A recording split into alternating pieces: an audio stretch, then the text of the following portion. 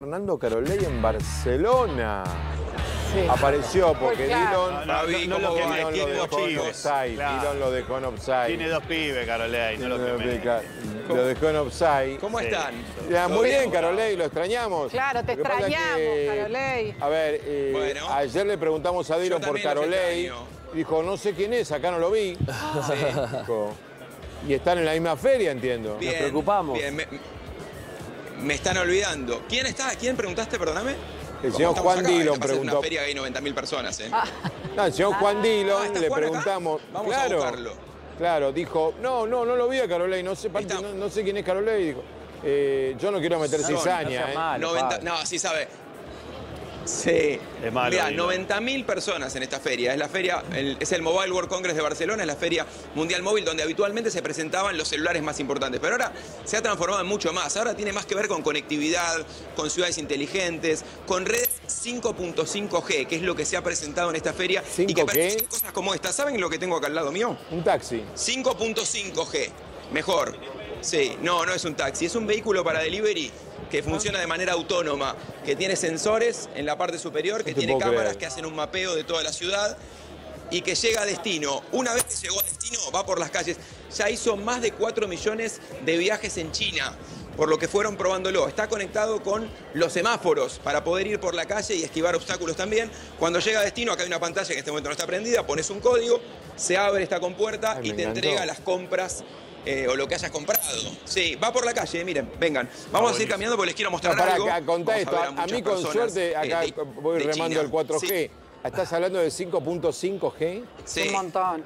¿Y cuándo Todo llega a Argentina la era, la era del 5.5G está pautado para 2030. Que, o sea, regionalmente va a ir llegando. Llega todo, ahora se está desplegando la red 5G. La red 5G, no, en, en Argentina ha llegado. Pero lo que está bueno de esto, de la era 5.5G, vos me decís, ¿para qué querés más velocidad? Porque es más velocidad y además es una respuesta más rápida. Entonces permite esto. Miren, justo están dando una charla acá. ¿Saben qué es eso? Es una simulación de un semáforo. Sí. Bueno, con antenas ubicadas en los semáforos, en una ciudad, los autos van a estar conectados a estas antenas y vas a saber dónde hay más tránsito. Y te va a hacer que evites los lugares donde hay más tránsito y que ordene el tránsito también. Este es un Perdón, ¿no? prototipo, Supone- pero ven, es perdón, un que vehículo eso es el Waze. futurista que tiene... Sí, Pero no anda bien. Claro, no, el Waze, acordate que el Waze te dijimos que lo hacía, el Waze lo hacía con los celulares de las personas que se movían en los Ah. autos. Acá estamos hablando directamente de los autos conectados con las señales de tránsito, con las señales de tránsito para indicarte por dónde ir, por dónde o qué lugares esquivar. Y además, fíjate lo que es este prototipo que tiene una pantalla donde te va a indicar cuando viene un peatón, cuando hay algún inconveniente, cuando hay tránsito. Bueno, la idea, el concepto es que la buena conectividad te permita moverte en la ciudad y hacer una ciudad más inteligente porque esté conectada. Va a haber muchos dispositivos conectados. En este momento, los celulares, los relojes inteligentes, la heladera, el lavarropa. Viste que todos los electrodomésticos se Sí. pueden conectar a internet. Bueno, Sí. va a haber más en el futuro. La idea Ah, es justamente ¿Tenés heladeras con televisor o en medio, o en medio antiguo eso que te digo? 5.5G. ¿Hay heladeras con televisor o es medio antiguo está lo que muy te bien, digo? pero mira, no hay, hay el, el año se divide en diferentes ferias. A principio de año estuvimos en la feria CES en Las Vegas, que era más de consumo.